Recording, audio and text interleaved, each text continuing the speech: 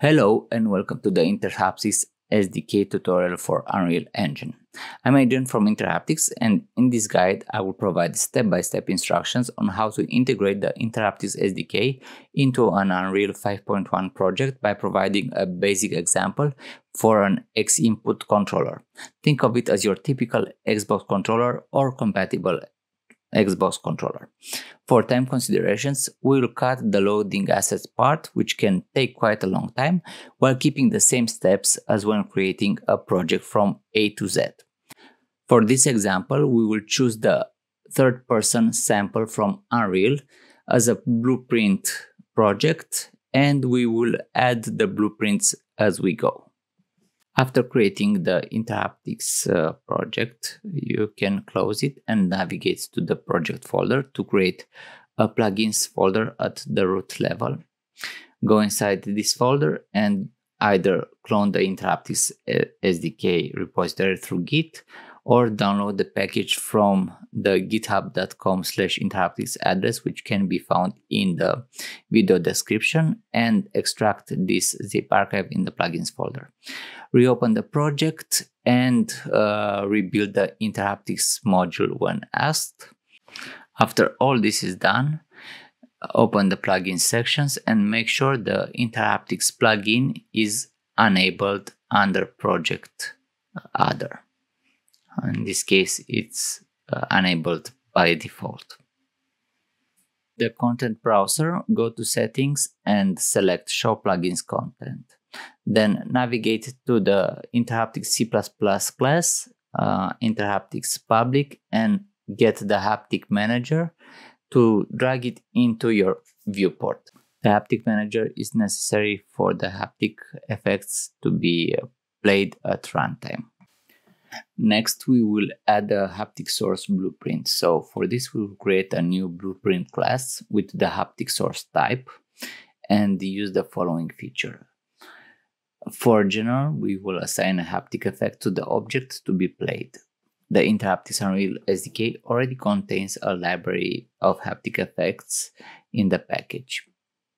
For the blueprint event graph, we will start by setting the targets, which allows us uh, to set the targets of the source, uh, which can vary between left, right, both, or none. In the blueprint event graph, we will also add a play to start all haptic events related to the haptic source. So in this case, uh, the haptic effect will begin at the start of the scene. We can then add the haptic uh, effect start in the viewport and check it by uh, loading the scene. To add X input events, we have to modify the level blueprint. So we open it and um, we add a gamepad event for this uh, gamepad event triggered on the top button, we create a new uh, blueprint of the haptic source type. So in this example, it will be haptic uh, effect shoot, the name, and uh, we add it to the viewport. We have uh, then to assign a haptic effect from the library, or you can create your own using uh, haptic, the haptic composer from the Interhaptics suite we drag the haptic effect shoot uh, blueprint into the viewport after saving, of course, and then uh, from the viewport to the event graph.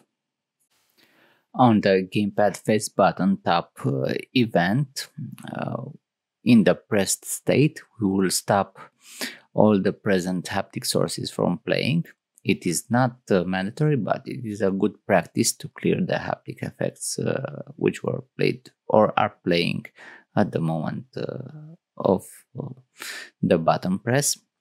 And we will set the target to both hands to play on both sides of the controller, and then we will execute play.